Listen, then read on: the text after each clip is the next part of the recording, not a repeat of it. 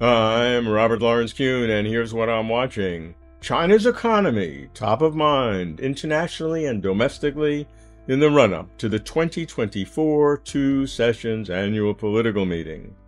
The new guiding phrase is New Productive Forces, which now headlines economic directives at central and local governments as China pivots to a growth model that prizes quality over quantity. How do new productive forces fit into the nested concepts that frame China's economic future? The grand goal is the great rejuvenation of the Chinese nation, which is achieved by Chinese modernization, which is energized by high quality development, which is promoted by new productive forces. Here's how President Xi Jinping explains it. Developing new productive forces is an intrinsic requirement and an important focus of promoting high quality development, and it's necessary to continue to well leverage innovation to speed up the development of new productive forces.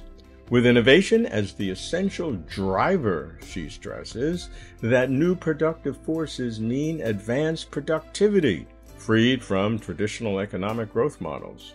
It features high technology, high efficiency, and high quality, and it aligns with the country's new development philosophy.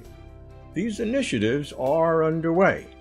The share of strategic emerging industries, such as new energy, high end equipment, and biotechnology in China's GDP rose to over 13% in 2022 from 7.6% in 2014, with the 2025 target over 17%. Such a rise of new productive forces is said to signal a transformative shift in China's economic landscape replacing antiquated growth drivers with more dynamic ones, thus enabling sustained economic development. Implementing new productive forces requires continuous breakthroughs in science and technology, which introduce disruptive technologies, fuel emerging industries, enhance industrial chains, and expedite the green transition, all empowered by intelligent information.